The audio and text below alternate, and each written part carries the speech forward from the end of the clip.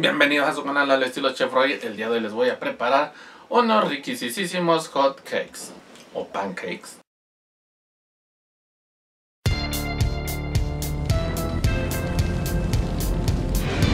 Comenzaré mandando saludos para Emilio González que nos ve en Texas, Aurora Rivero y para Auralia García que no me pusieron de dónde son, pero un saludo a todos ustedes. El día de hoy les voy a dejar una receta para preparar hot cakes o pancakes y algunos otros nombres con los que se les conoce.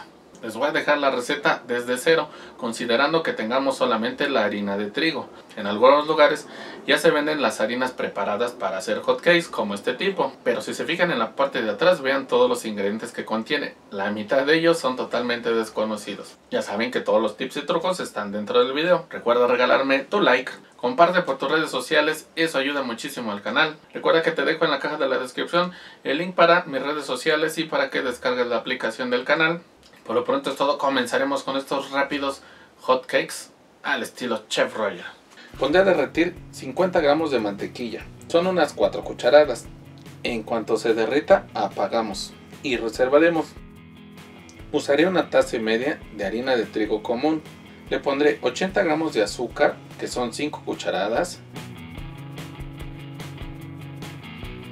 una y media cucharada de polvo de hornear, yo la paso por un colador para deshacer los grumos,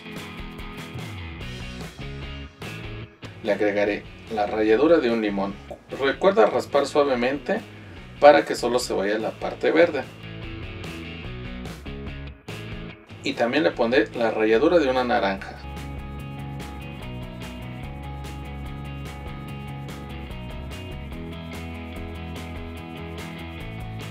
Esta naranja la cortaremos y sacaremos el jugo.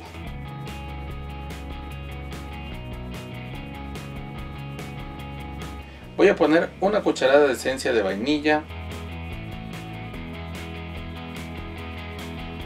dos huevos y vamos a mezclar todo esto con media taza de leche.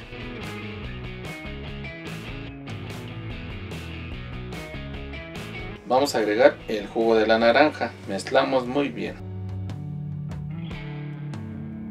Cuando ya no tenga grumos, agregamos la mantequilla que derretimos. Nos tiene que quedar una mezcla así. Esta es la mezcla para los hotcakes regulares. Ahora les voy a dejar una mezcla para hacer hotcakes integrales.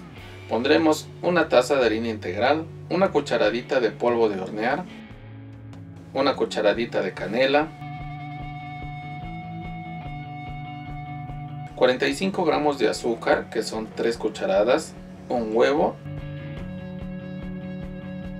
y una cucharadita de esencia de vainilla. Vamos a mezclar todo esto con media taza de leche.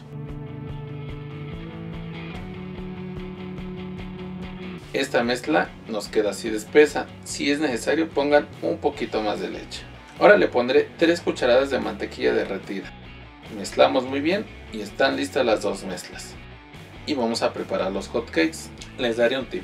Usen un trozo de mantequilla envuelto en papel de cocina para que puedan untar el sartén después de cada hot cake y ponerle arriba a cada uno de los hot cakes. Pondremos el sartén a fuego medio.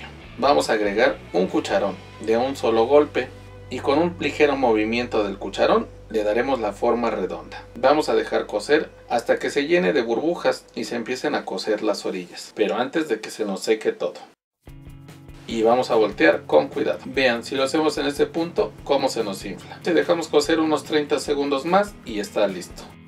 Opcionalmente, como les comenté, pongan un poco de mantequilla arriba de cada hot cake. Ahora haremos uno de harina integral. Pondremos nuestra porción, la mezcla siempre al centro y giramos un poco el cucharón para darle la forma redonda. Dejamos cocer hasta que comience a hacer burbujas y las orillas se empiecen a secar. Voltearemos con cuidado. Pasamos un poco de mantequilla y dejamos cocer por 30 segundos más y está listo. Ahora les dejaré una versión especial. Pondré un poco de mezcla y le agregaré una cucharada de chispas de chocolate. Moveremos solo para integrar. Recuerda pasar nuestra mantequilla cada que hagamos un hot cake. Pondremos en nuestra sartén nuestra porción, giramos un poco y dejaremos cocer. Volteamos y dejamos otros 30 segundos más y están listos esos ricos hotcakes.